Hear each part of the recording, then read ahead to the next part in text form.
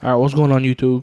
We over here streaming live right now on Twitch. Uh, yeah, just twitch.tv forward slash spake it. Come check it out, y'all.